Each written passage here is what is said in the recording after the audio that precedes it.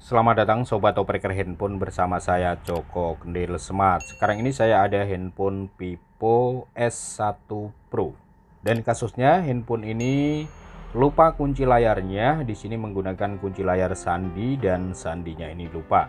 Nah ini pernah dicoba berulang-ulang ya jadi meminta jeda waktu untuk mengulang kembali.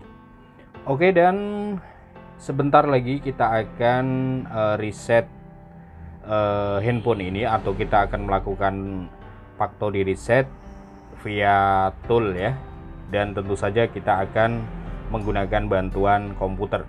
Namun sebelum kita gunakan komputer di sini kita teringat di video yang sudah lama juga saya upload ya di Vivo S1 Pro ini ketika lupa kunci layar kita coba hard reset via recovery mode dan itu berhasil. Nah ini kita akan coba dulu ya handphone sudah kita matikan. Kemudian untuk masuk di mode recovery kita bisa menekan volume atas dan tombol power. Nah seperti ini. Kemudian kita pilih yang baris kedua recovery mode kemudian handphone restart kembali. Kita tunggu sampai masuk di halaman Vivo recovery. Kita di sini tinggal pilih clear data kemudian baris kedua clear all data lalu di bawah ada konfirmasi kita klik OK. Ternyata di sini gagal ya. Jadi kalau berhasil di sini itu ada speed progress web data. Dan di sini tetap meminta sandi tadi itu artinya gagal. Ini biasanya disebabkan oleh versi Androidnya yang sudah berbeda ya sudah upgrade jadi tidak bisa melakukan uh, cara ini. Terpaksa kita akan menggunakan komputer ya namun di sini handphone perlu kita bongkar karena kita butuh test point. Untuk membongkarnya ini bisa kita skip saja dulu. A few moments later. Oke, dan ini sudah kita bongkar ya. Kita bongkar sekali lagi untuk Vivo S1 Pro ini dia berchipset Qualcomm dan ketika kita ingin melakukan software tentu saja HP harus kita bongkar karena kita butuh test point. Untuk test pointnya ini di bawah soket kamera paling bawah kamera belakang paling bawah ya. Sebentar ini agak sedikit gelap saya nyalakan lampunya dulu. Jadi test pointnya itu ada di uh, soket kamera belakang yang paling bawah di bawahnya ini. Sebentar kita kalau bisa kameranya kita ambil kita ambil agar lebih jelas ya. Sebentar kameranya ini kita lepaskan. Kemudian di soket kamera ini ada lakban ya semacam stiker ini bisa kita kletek ya karena test pointnya itu ada di bawah eh, lakban itu. Sebentar ini agak susah kita gunakan cutter pelan-pelan ya jangan sampai terkena soket kameranya ya ini ini bisa kita kletek. Sebentar ya sabar kita tunjukin test pointnya untuk Vivo S1 Pro. Nah ini di situ ada tiga titik tetapi untuk titik test pointnya itu titik yang atas ya. Ada dua titik yang mendatar yang atas. Sebentar ini kurang jelas ya kameranya ya. Kita cari angle yang bagus biar kelihatan ya Nah ini kelihatan ya. Ada dua titik yang atas ini yang saya tunjuk ini. Dan ini bisa kita konsletkan ya sambil menekan tombol power ya beberapa kali. Tentu saja untuk baterai harus kita pasang untuk metode seperti ini ya Oke, kita siapkan handphonenya. Kita bisa letakkan seperti ini, kemudian siapkan kabel data Type C ya, kabel datanya. Kemudian kita bergabung dengan tampilan komputer. Dan untuk toolnya di sini saya sudah siapkan ini tool bikinan dari JSM Sulteng JS Tool versi 2023.01.25 dan tool ini berbayar ya teman-teman ya kita bisa bayar admin agar kita bisa dapat ID login. Buat teman-teman yang ingin mendapatkan tool ini nanti kita akan kasih info di akhir video saja ya. Ini kita langsung klik login. Nah, ini ada masalah gagal login ya. Ini kenapa? Uh, sebentar kita cek jaringan internetnya apakah terputus. kita cek dulu ya masih tersambung untuk jaringan internetnya tetap eh, tetapi kenapa gagal login sebentar ya kita akan cek eh, mungkin saja passwordnya saya salah ketik ya. Kita hapus saja untuk passwordnya kemudian kita ketikkan ulang ya.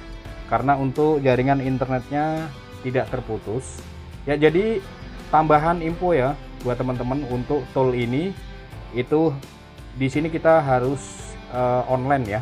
Harus ada jaringan internetnya oke langsung saja kita klik login. Kita tunggu. Ya ini tadi gagal. Oke sudah terbuka ya toolnya. Berarti tadi salah ketik password ya. Selanjutnya di sini kita uh, buka DPS Manager dulu ya. Kita buka dan DPS Manager ini nanti untuk memastikan uh, bahwa handphone sudah terbaca dengan PC ya. Kita taruh di pojok kanan atas ini. Kemudian kita bisa pilih Snapdragon di sini karena S1 Pro ini dia menggunakan chipset Qualcomm ya. Kemudian kita bisa pilih tipe format. Lalu untuk tipenya kita cari Vivo S1 Pro ya. Sebentar kita cari dulu Vivo S1 Pro. Kita cari dulu di mana ini ya? Uh, sebentar. Vivo S1 Pro kita cari dulu. Sebentar. Ya ini sudah ketemu Vivo S1 Pro PD 1945F ya. Kita klik saja. Lalu kita bisa ke handphonenya ya. Oke kita persiapan. Nah, ini bisa soket baterainya bisa kita pasang, kemudian kita siapkan pin set ya untuk melakukan test point. Kita siapkan jari kita di tombol apa namanya? powernya ya. Ini agak susah karena kita tidak ada tombolnya, hanya menekan switchnya saja jadi agak susah ya. Sebentar, nah ini agak sedikit susah. Kita konsletkan kedua titik test point sambil kita tekan tombol powernya beberapa kali ya dan ini syaratnya konektor baterai harus kita pasang ya untuk melakukan metode ini Oke lanjut kita colok kabel datanya kita hubungkan ke PC. Oke sudah ada bunyi tengtong dan kemudian perhatikan di uh, di Page Manager ada pergerakan. Ya sudah terbaca sebagai Qualcomm EDL 9, uh, 9008 ya dengan port sekian. Oke Sampai di sini kita tinggal klik factory reset ya. Ini yang paling atas. Kita klik saja. Oke, sudah terbaca, sudah terkoneksi ya. Kita tinggal menunggu saja sampai proses factory resetnya ini selesai. Untuk cara ini tidak begitu lama ya, tidak sampai 2 menit. Itu biasanya sudah selesai, sudah sukses ya.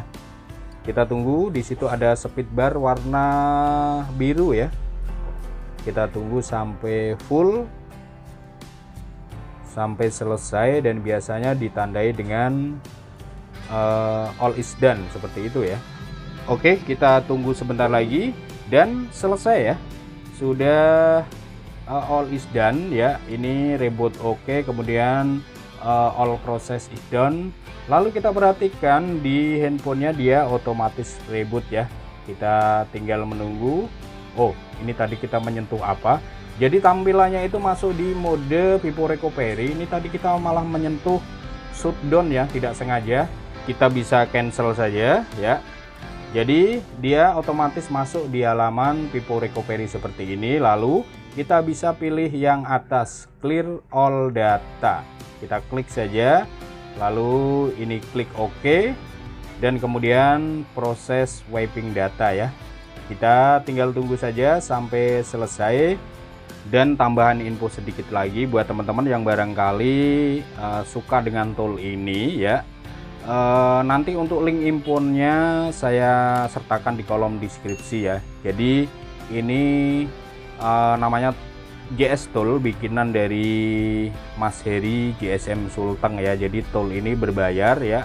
Bisa tahunan atau bisa bulanan. Pokoknya harganya sangat murah sekali dan toolnya ini selalu update ya. Jadi ada tambahan-tambahan dari seri handphone yang terbaru itu dia selalu update. Pokoknya tool ini sangat murah dan sangat mantap ya.